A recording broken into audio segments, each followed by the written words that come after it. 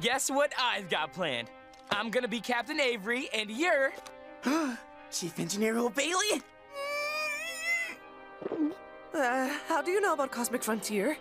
Well, the book's in your basement. Oh, funny how things just show up in basements, right? Without you hiding or putting them there.